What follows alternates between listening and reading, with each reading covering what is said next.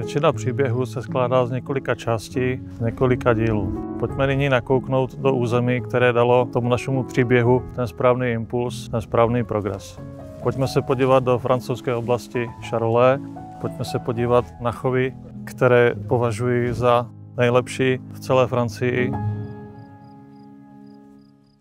V rámci rozvoje naší společnosti jsme se rozhodovali, jakým směrem jít, jestli preferovat skot anebo preferovat prasata. Rozhodnutí padlo na skot. Nakupovali jsme telata masného skotu, plemen Aberdeen Angus, masný cimentál, limuzín, Charolais a v průběhu toho výkrmu jsme dospěli k několika závěrům. Došlo v rámci toho našeho výkrmu k obrovské diferenciaci denního přírůstku v rámci jednotlivých farem a jednotlivých plemen. Nejlepších přírůstků dosahují zvířata plemene limuzín a plemene šarole. Obecně platí u plemene šarole, že je oproti plemeni limuzín trošku méně temperamentnější, zvířata jsou klidnější a to byl jeden z rozhodovacích vlastně momentů, proč zrovna u nás plemeno šarole. Ten výběr není o lásce k bílé krávě, ale je to hlavně skutečnost, že šarole na celém světě patří mezi hospodářsky nejvýznamnější plemena masného skotu, hlavně díky typickému osvalení, které toto plemeno sebou přináší. V zařazení v Evropu, na který jsme v Evropě zvyklí, dosahovala velice eh, vynikajících výsledků zařazení většinou E a nebo R, což je předpoklad dobré vytěžnosti a samozřejmě dobré ospeněžení kvalitního masa. Naše společnost využívá samozřejmě v plné míře spolupráce s francouzskými chovateli a se Simonem Perotem. So I'm Simon Perrot. I come from France in the Charolais area. We are specialists in the Charolais genetic. From the beginning, Aleix and his team, they, they wanted to begin with the top and with the modern Charolais. They were already a Charolais herd, but they wanted to improve with 100% of uh, French Charolais bloodline It's still a pleasure to, to work together because uh, we have very good collaboration and uh, it's a lot of pleasure to see the animal in such condition.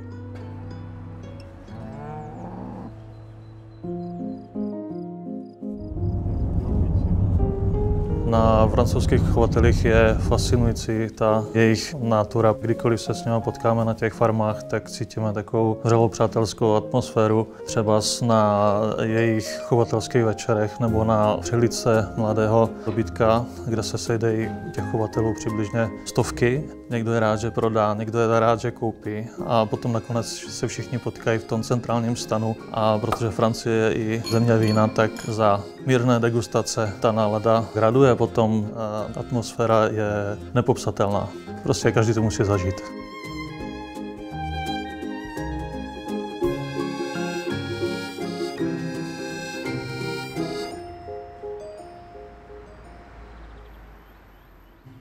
Zásadní bylo i setkání s francouzskými veterináři a nebo krmiváři, protože plemeno Charolais je plemeno intenzivní a je třeba se k němu takovým způsobem i chovat. Víte, to jsou takové části toho života s těmi zvířaty, které nikde se nenaučíte sami, nebo vám to bude trvat strašně dlouho. Nevím, kde bychom u nás k těm informacím přišli a jsme rádi za to, že jsme získali jejich důvěru a byli jsme obdarováni tím jejich know-how a nemusíme prakticky v uvozovkách dneska objevovat Ameriku, když je objevená, můžeme využívat těch informací. A co se týče té minerální výživy, tam jsme získali náhled na to, jakým způsobem by měly být krávy, prakticky matky před otelením, vybaveny, co by měly mít k dispozici za vitaminy. My jsme vsadili na jejich minerální výživu v předporodním období. Nakupujeme ve Francii přípravky a nemáme prakticky žádný problém se životaschopností, savostí telat po porodu, zadržování lůžek a podobně. Mají to vychytané prostě a jsme rádi, že můžeme od nich ty informace mít. V rámci našeho posledního tour po Francii jsme povečeřili s francouzskými kolegy právě z oblasti veteriny a krmivářství. La première fois qu'on s'est rencontrés, euh, euh, c'est suite à l'export euh, de, de nombreux animaux euh, par ciment génétique. Donc, euh, L'idée était vraiment d'accompagner euh, ces animaux de France en République tchèque et euh, bah de, d'essayer euh, de proposer un plan de rationnement, de suivi de troupeau, de santé des animaux, pour euh, essayer d'avoir, euh, on va dire, le meilleur, les meilleurs soins possibles aux animaux et, euh, et de manière durable.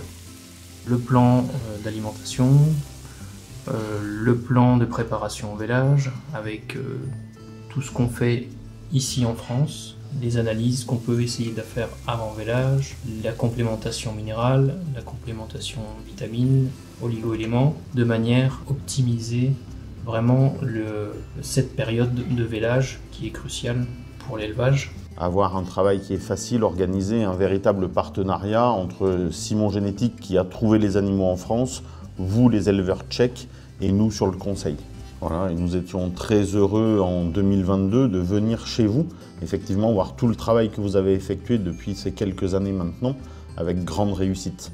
La preuve est d'ailleurs que vous avez réexporté des animaux de chez vous vers la France. Bravo. Naše chovatelské zkušenosti se nám podařilo zúročit v loňském roce, kdy jsme v rámci jedné otevřených dveří pořádali aukci několika zvířat odchovaných na naší farmě. Součástí té aukce byl biček, kterého jsme zakoupili v roce 2019 ve francouzském Cercy Latour. V průběhu toho období, kdy působil na naší farmě, se prokázalo, že má vynikající předpoklady pro to, co je předmětem moderního šlechtění v rámci Charolais, což jsou snadné porody a osvalení. Byl vydražen ku podivu francouzi zpátky do země původu, což nás celkem šokovalo. Origana vlastně zakoupili zpět z toho důvodu, že jsou si vědomí toho, co ta genetika toho origana nese, tak ho vykoupili zpět a my jsme měli možnost eh, origana po několika měsících vidět na inseminační stanici Alvanovia. So here, usually it's forbidden. You can't be there, okay? However, it's a sanitary test didn't begin yet. So at the moment we can go in. No, nazdar. Jsme se dlouho neviděli, co? No, no, no. Origan je jedním z mála zvířat, které se podařilo v historii České republiky prodat zpátky do země původu. Eh, momentálně se nachází Origan na karanténě na inseminační stanici, kde čeká na ukončení karantény a bude odebráno jeho sperma a budeme se těšit na další jeho potomky. Vidíte Origana. No, vidíte, že nezapomněl. Nezapomněl, hodný Origan. No, kámo, jak se ti daří? Hoigan is beginning his uh, quarantine. We are keeping him uh, in quarantine uh, for uh, 60 days and uh, during this time uh, we are going to, to do several tests, sanitary tests and when the tests are okay in 60 days he can come in the collection center mm -hmm. and then we can start to collect him. Thank you for cooperation with Alvanovia. It's my pleasure.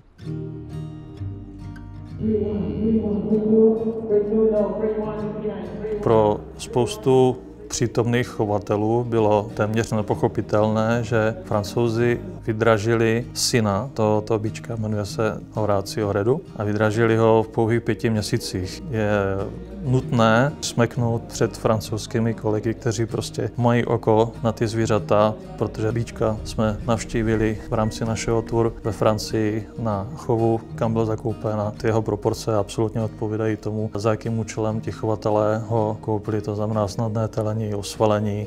Uvidíme, jaké se projeví maternální vlastnosti, ale v rámci chovu jeho potomku potvrzují samé kladné hodnoty. En ce qui concerne les motivations euh, pour euh, acheter euh, Horace, donc ça va faire bientôt un an. Donc on était à la recherche d'un taureau vélage facile et sans cornes et qui plus est avec une, une origine qui était peu diffusée. Donc après contact donc avec Simon, donc euh, on a vu donc les vidéos de ce jeune veau et on a dit donc avec David euh, que c'était possible euh, d'essayer de tenter notre chance pour, acquérir ce taureau. Oui, le, veau nous plaisait bien comme ça en vidéo et puis vu, comme son père, comme il, comme il était fait, je pense qu'on craignait pas grand chose quoi, dans sa viande et puis il paraît que sur les vélages, ça, en vélage facile c'est top, alors bon, on verra.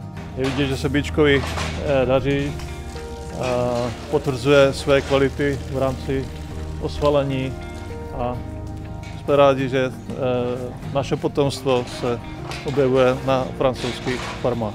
Okay. Merci. Thank you for cooperation. No, no problem. Thank you. Thank you. From South Arabia.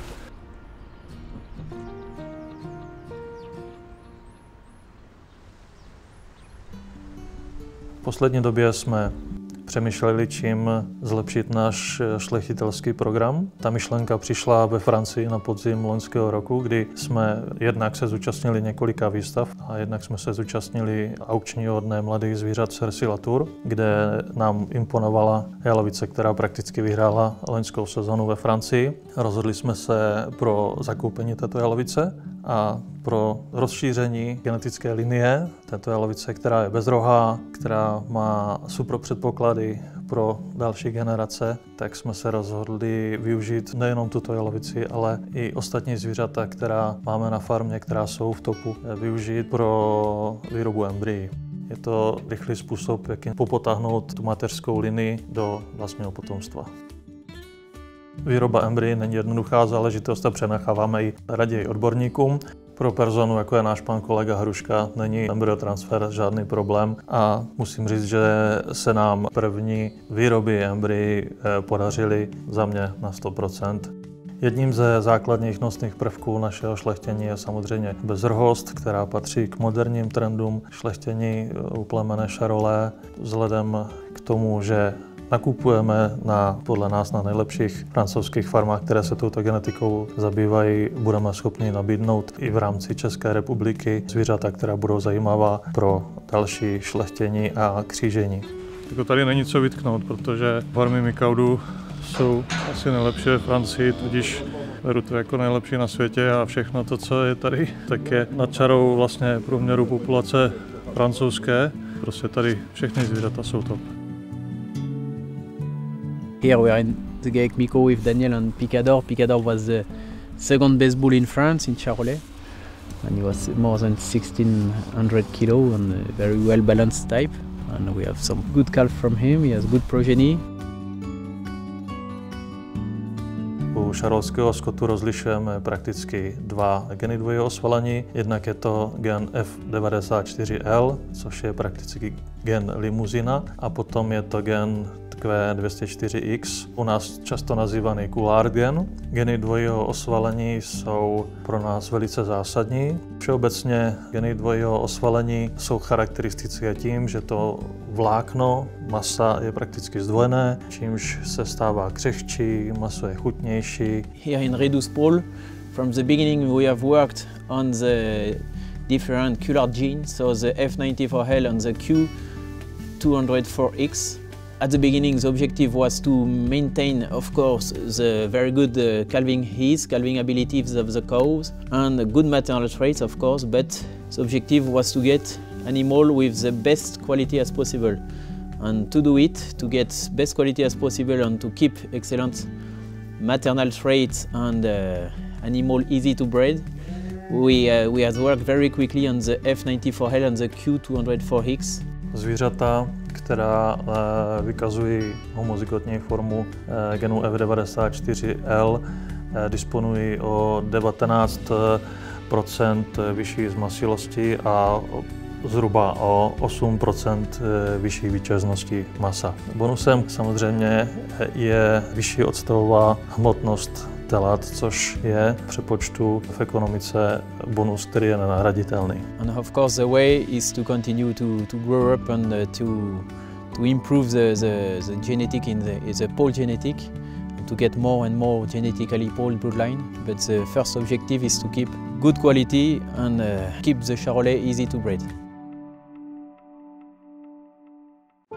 Mývám radost z dosažených výsledků, z toho, co se nám na naší farmě daří a je na místě vyzdvihnout hlavně mé kolegy, kteří se 24 hodin denně, 7 dní v týdnu, 365 dní v roce podělejí prakticky na tom provoze, který je nepřetržitý, protože jsme v živočišné výrobě a ta si vyžaduje okamžitou reakci, kdykoliv je potřeba. Nejtěžší v životě bývá se vyrovnat se ztrátou někoho blízkého někoho, kdo vám dal do života ty rady nejcennější, někoho, o koho jste se mohli vždy opřít. V loňském roce náhle odešel můj kolega inženýr Bronislav Vala, který byl a stál za největším rozvojem naší společnosti. Dovolte mě, abychom si tohoto velikána připomněli alespoň malou vzpomínkou z dokumentu, který jsme o naší společnosti natočili v loňském roce jenom několik týdnů předtím, než pan Bronislav Vala odešel. Narodil jsem se tady v té krajině a dělám to proto, aby po mně něco zůstalo. Aby jsme tu krajinu tady společně zvelebovali, vytvářeli nějakou novou vizi pro budoucnost na úrovni stejně jako v ostatních zemích, aby jsme se nemuseli dívat na Rakousko nebo na Francii, že jsou lepší. A proto to děláme. Proto děláme to, že tady tvoříme to zemědělství, tu krajinu a myslím si, že se nám to nějakým způsobem daří. Připijím na zdraví nás všech a děkuji za spolupráci francouzským kolegům. Merci de votre collaboration. Bonne santé.